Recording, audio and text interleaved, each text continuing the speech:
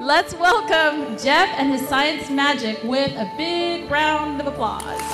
I'm Jeff Evans, and welcome to my Science Magic Assembly. Whether you're looking for a STEM program, a science fair kickoff, or a grand finale for your school science fair, this is a great way to do it.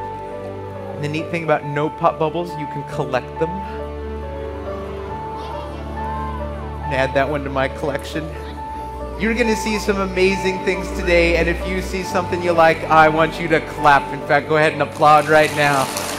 My job isn't necessarily teaching kids science as much as it is getting them excited and motivated to learn more about science on their own. What I've discovered is that anything that looks like magic can be explained by science.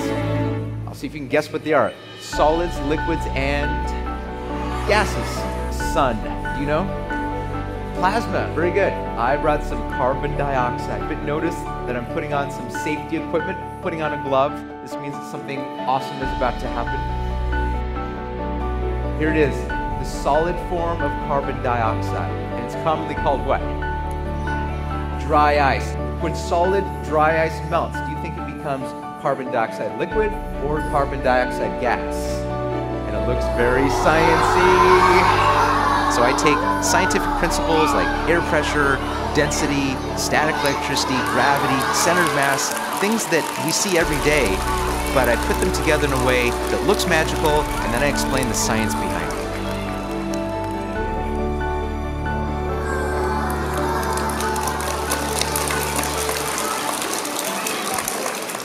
What you expect to see, and you're correct if it's less dense, it's gonna float.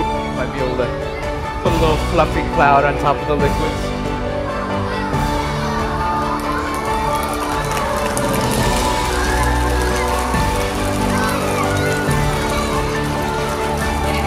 down to the lake with this cannonball. Would it float or sink?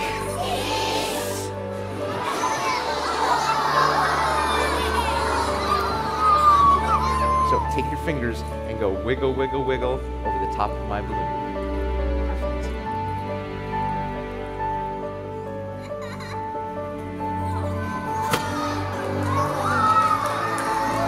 Wait, go wiggle, wiggle, wiggle over the top of my hand.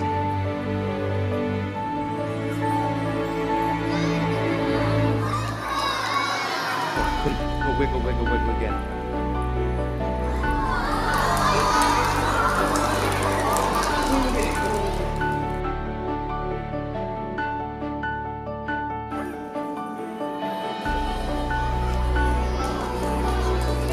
This from the top of the ladder in about one second you hit the ground. I'm going to see if I am faster than the speed of gravity. One, two, three.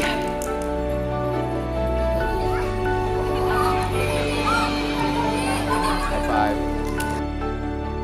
You guys were awesome. My name's Jeff Evans saying thanks and goodbye.